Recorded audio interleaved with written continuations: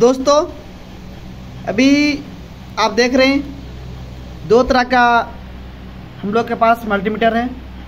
पहले सीएनजी गाड़ी में बी सिक्स में, इस तरह का हम लोग मल्टीमीटर यूज़ करते थे। ये में प्रॉब्लम क्या था कि बहुत से हमारे मैकेनिक भाई को ये पता करने में डाल को सेट करने में मालूम नहीं हो पड़ता था, किस तरह से कहाँ पे डाल सेट करें। जिसकी वजह से बहुत सारे मैकेनिक भाई को हम लोग को प्रॉब्लम हो रहा था। तो अभी जो हमारे, जब से ईवी गाड़ी बजाज लाई है, तब से हमारे कंपनी की तरफ़ से फ्लूक का मल्टीमीटर प्रयोग में आ रहा है। अब सवाल है, ये भी मल्टीमीटर है और ये भी मल्टीमीटर है। तो अभी हर सर्विस सेंटर में या जितने भी मैकेनिक्स भाई हैं, वो भी कोशिश कीजिएगा, यही मल्टीमीटर यूज़ कीजिएगा, ताकि एक साथ कई काम आपको हो जाएगा। जैसे कि अभी हम लोग ये क्यों यूज़ करेंगे? ये क्यों नहीं यूज़ करें? ये क्यों करना है? तो देखते हैं, जो ईवी गाड़ी है बैटरी वाली गाड़ी है, वो अगर आप चार्ज लगाते हैं, ठीक है? वोल्टेज सॉरी वोल्टेज चेक करते हैं तो जो गाड़ी चार्ज होगा, हमारा घर का जो बोर्ड है उसको चेक करने के लिए। आप अगर देखते हैं तो मान लिया जाए 220 के लपेट में हमारा घर का वोल्टेज रहता है ठीक है? हमने डायल को सेट कर लिया 100 पर ऑन कर दिया। 220 पे होता है तो 600 पे सेट किए हैं तो 220 के अंदर है, नहीं 200 से ऊपर। 200 वोल्टेज हम चेक कर रहे हैं। चलिए हम यहाँ लगाते हैं एक नोब को। और एक नोब को इसमें डालते हैं, ठीक है? देखिए, नोब को डालें। तो जितना हमारा घर का जो वोल्टेज है, वो दिखा दिया मल्टीमीटर पे। लेकिन अब इसमें यह पता नहीं चल रहा है कि कौन फेस है और कौन न्यूट्रल है। कौन फेस कौन न्यूट्रल है, इस मल्टीमीटर से हम पता नहीं कर पाते हैं।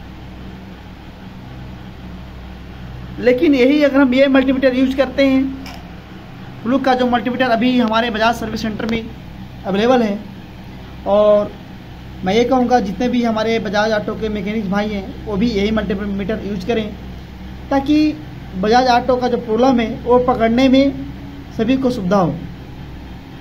देखिए डायल को हम सेट करते हैं एसी वोल्टेज पे। एसी पे दिख गया, देखिए। उसके बाद हम नोब को लगाते हैं। यहाँ पर आप देख रहे हैं डायल पे। किसी प्रकार का कोई हलचल नहीं दिख रहा। उसके बाद हम यहाँ देखते हैं, ठीक है? यहाँ देख रहे हैं तो देखिए।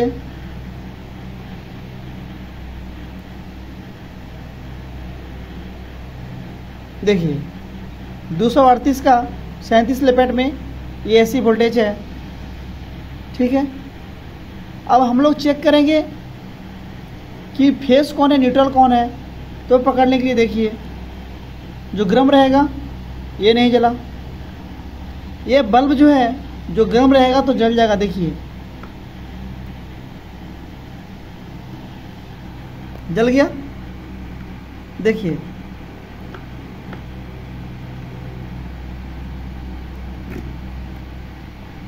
देखिए, जल रहा है। यानी हमको पता चल गया कि ये जो है, ये ग्राम फेस है। तो ग्राम फेस में हमेशा लगाते हैं तो रेड कितना वोल्टेज देखिए, ये पता चल गया गर्म है। ये पता चल गया, ये हमारा फेस जो है, ये गर्म है, देखिए।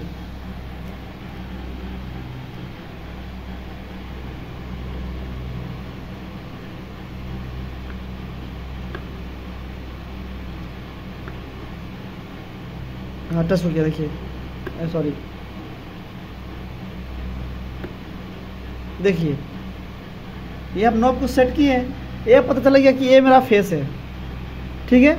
तो अब इसमें हम लगाएँगे। तो अभी हम इस मल्टीमीटर पे यही दिखा रहे हैं कि हम लोग, ये भी गाड़ी, जो भी हम लोग मैकेनिक्स भाई हैं या सर्विस सेंटर जो भी प्रोवाइड कर रही है, ये फ्लूक का फ्लूक का मल्टीमीटर है। Seven B plus, digital multimeter. ये ईवी गाड़ी के अगर वर्क काम करते हैं तो ये मल्टीमीटर यूज़ करना आप छोड़ दीजिए। और कोशिश कीजिए कि इस मीटर, ये मल्टीमीटर से काम कीजिए, ताकि आपका, जब ईवी गाड़ी में चार्जिंग का प्रॉब्लम होगा तो ये आपका बहुत काम करेगा। तो चार्जिंग का जो प्रॉब्लम होगा तो किस तरह से बोर्ड को चेक कीजिएगा, उसका हम नेक्स्ट वीडियो में लाएँगे। नेक्स्ट वीडियो में ला रहे हैं। आप लोग वीडियो पे बने रहिएगा, क्योंकि एक एक स्टेप पे हम वीडियो लाएँगे ताकि आप लोगों को भी आसानी से समझ में आ सके। एक वीडियो में हम क्लियर नहीं कर पाएँगे दोस्तों, इसलिए नेक्स्ट वीडियो जो ला रहे हैं, हम जो चार्जिंग पॉइंट रहेगा चेक करने का, ये ये तो एग्ज़ाम्पल बताए हैं। ये जो बोर्ड रहेगा, सोलह एम्पियर का रहेगा बजाज ईवी का चार्ज करने के लिए। हम बताएँगे कि किस तरह से इस मल्टीमीटर के माध्यम से अब चेक कीजिएगा कि ये मेरा जो बोर्ड है चार्जिंग का, वो सही है, या प्रॉपर वर्क करेगा कि नहीं करेगा? इस विषय पर नेक्स्ट वीडियो ला रहे हैं। चलिए मिलते हैं नेक्स्ट वीडियो में। नए नॉलेज के साथ। धन्यवाद।